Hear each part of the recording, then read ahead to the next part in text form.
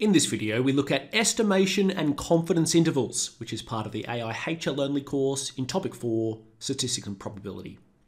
Okay, to open this video, I'd like to go through a simple example to try to set the scene of what we're working towards here, which is building a confidence interval. Let's say I wanted to find the average height or the mean height of all IBDP students around the world. There's roughly about 300,000, let's say. Now, obviously, it's not practical for me to start jumping on planes and visiting every single school and getting my tape measure out and measuring all 300,000 students. It's, it's not practical to find mu, which is the population mean. So instead, what I can do is take a sample. And let's say I sample 30 students nearby to me, and I found that the average height, which we call x bar, the sample mean, was 165 centimetres. Well, this 165 centimetres, the sample mean, is a pretty good estimate for mu, the population mean, but it won't be mu exactly. That'll depend, that'll depend on the types of students that I have sampled. But what I can do with this sample mean is use it to build a confidence interval for mu. So let's just have a look at this interval here. I could build a confidence interval and say that the population mean, in other words, the average height of all students around the world, is between this interval from 160 centimeters up to 170 centimeters. And attached to this interval is some sort of level of confidence. Usually the numbers are probably 90% confident or 95% confident or 99% confident. They're the three most common, but it can be any really level of confidence. Uh, it could be 83, it could be 97, but usually you'll see sort of 90, 95, and 99. So I could say here, and I haven't actually done the calculations, but let's just say it is 90%. I could say I'm 90% confident based off my sample that the population mean lies within 160 centimeters up to 170 centimeters. So that's what we're working towards here, building a confidence interval with a level of confidence attached to it. Okay, before I go into the theory, I just want to touch on the notation. Um, for this particular concept and other statistics uh, concepts, the notation really varies across different textbooks and different online publications, so just be careful of that. It's easy to get confused. Sometimes you'll see S, or sometimes you'll see SN, or sometimes you'll see SN minus 1. What I have here is the official IB notation. So, as per their syllabus, guys, these are the symbols that they use for all of these important values here. So, it's good to probably just write these down or, or, or have them saved somewhere and refer back to these when you start to see some of these symbols in the formula. So, for example, SN minus 1, sometimes some textbooks actually have SN for that. So, just be careful and understand the proper notation that we're going to use here. Okay, let's have a look at the theory. As I mentioned in, uh, in, this example here, what we're trying to do is to estimate an interval for mu, the population mean, with a level of confidence attached, let's just say 90%, based off sample data. What we, so what we're trying to do is to find an interval with a lower limit and an upper limit. And the way that we find that is by going x bar plus a margin of error to find the upper limit. That's what the right hand side will be. And x bar subtract the same margin of error to find the lower limit. So the logical next question is well, I know how to find x bar, the sample mean. That's just taking the average of a sample. How do I find this margin of error? Well, there's two types of questions that you'll encounter in AIHL. One type is when the population variance or the population standard deviation is given. So the sample, uh, the, sorry, the variance is known. And in that case here, we use this formula here to find the margin of error involving z-scores or involving a normal distribution.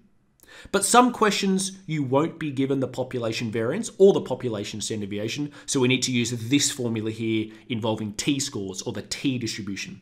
Now I won't go through all the information of how these two formulas work, but just briefly, uh, this left-hand formula involves z-scores of, of a value of alpha over 2, where alpha is 1 subtract the confidence interval. So for example, at a 90% confidence interval, that'll be 1 subtract 0.9 or 10%. So this would be uh, 10% on 2.